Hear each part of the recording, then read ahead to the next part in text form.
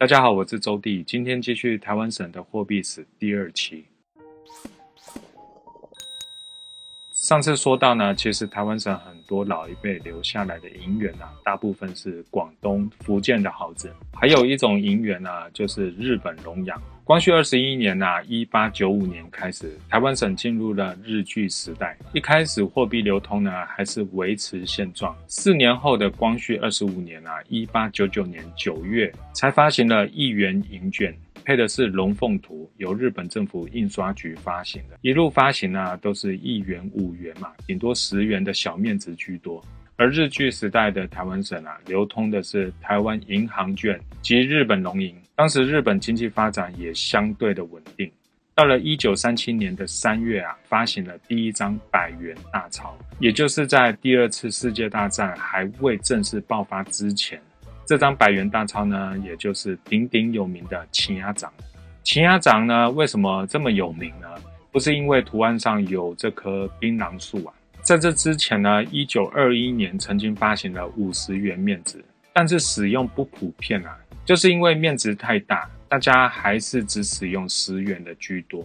相隔十六年，居然发行了十倍大的面值，一百元的秦鸭掌，百元，所以才叫百元大钞。对大家的冲击啊很大，就打比方，我们现在突然发行一万元台币一样，拥有一张青仔虫啊，相当的臭屁，可以买房买地了。听说当时在街上啊，如果警察看到你手上拿着钱牙掌，就会过来询问你是做什么的，为什么手上拿这么多钱？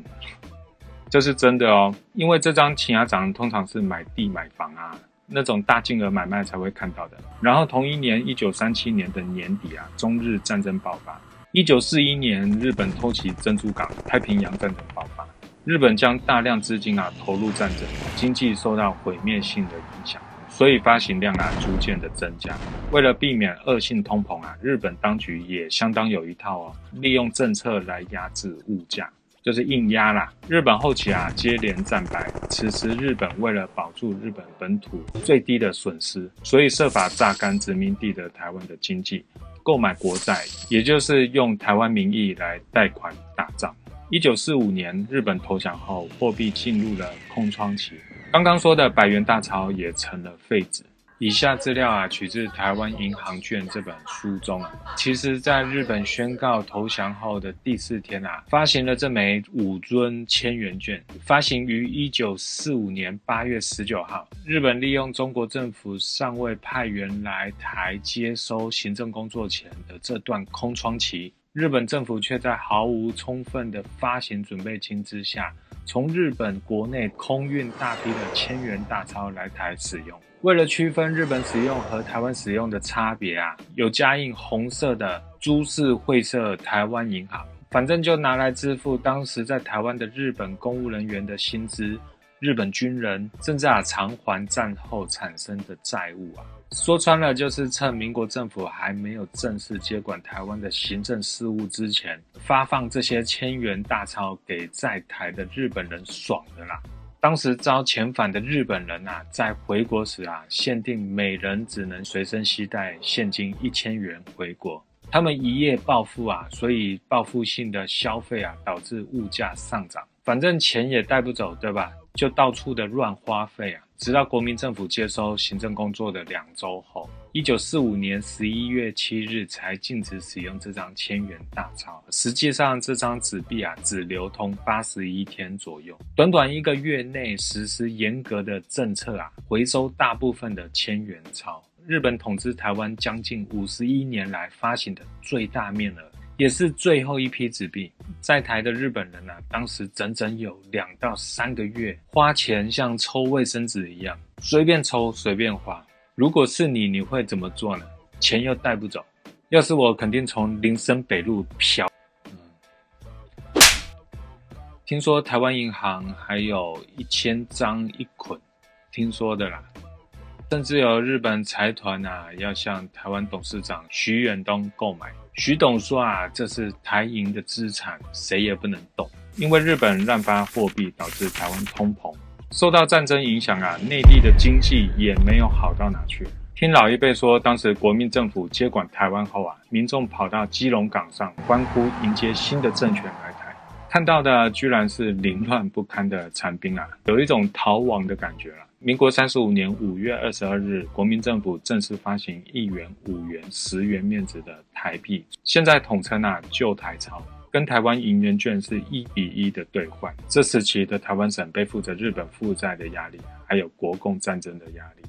同一年的物价已经飞涨了，三个多月的九月一日啊，赶快发行五十元、一百元面值，好让市场流通。物价波动极大，五十元一发行就赶不上物价上涨的速度，一张五十元只能买一颗鸡蛋，所以大家更愿意使用这张一百元。虽然它不是本位币啊，无形中代替了一元本位币，发行量是天量啊。这时候啊，刚刚说的秦家长百元大钞。银行也拿出来跟着这枚一百元一起发行流通，所以秦鸭掌就是这么的戏剧化。从可以买地到现在呢，只能买两颗鸡蛋。旧台币啊贬值到二十四万台币换一元美金。最初旧台币核定为三十亿元嘛，但民国三十六年隔年呐增至一百八十亿，民国三十七年呢则是两百六十亿。同一年的年底啊，已经累积发行一千多亿了。民国三十八年，短短半年就达到了四千亿，总计发行总额啊是六千亿。压倒最后一根稻草的是八一九币制改革。八一九币制改革是一九四八年八月十九日，民国政府在上海宣布财政紧急处分令，发行银元券取代法定货币，俗称八一九币制改革。第一，禁止人民持有金银外汇，必须交由台湾银行统一收税。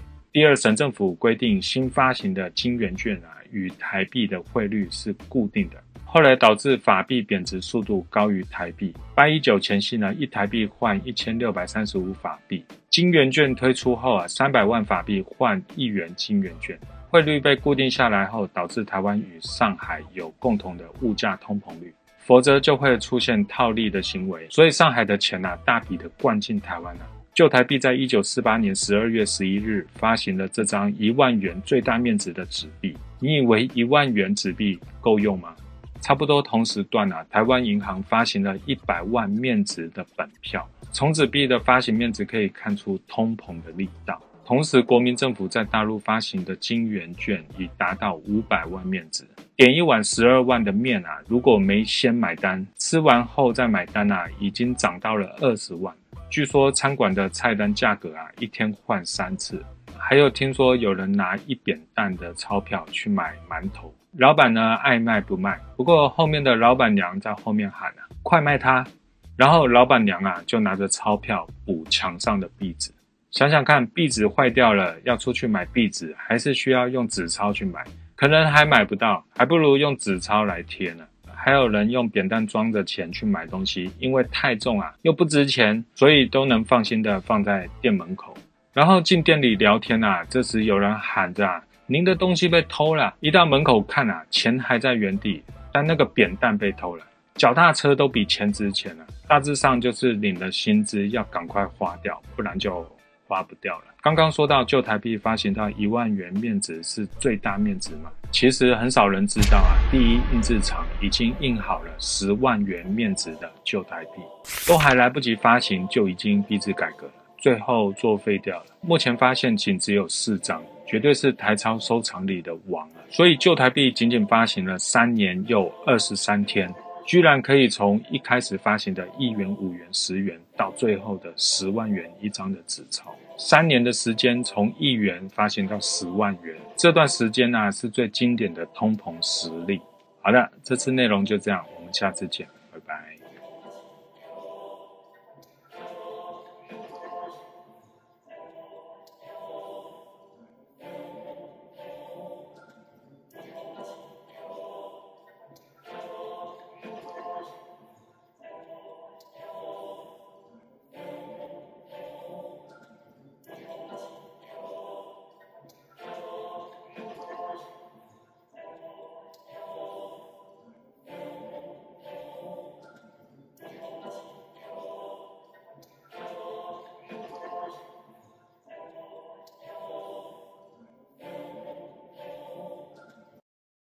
必藏那些事的 YouTube 会员专属影片已经开启喽，感谢大家多多利用。